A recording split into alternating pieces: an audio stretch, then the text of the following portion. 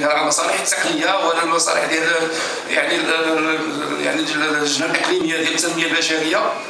وكان وهذا كان نحمل السيد الرئيس أنه يحاول أنه يستدعي هذا هذا رؤساء المصالح. علاش؟ لأن غياب هذا هذا رؤساء المصالح الخارجية كيخلي عمل اللجان بعض الأحيان متوقفة ما كتمشيش إلى الأمام.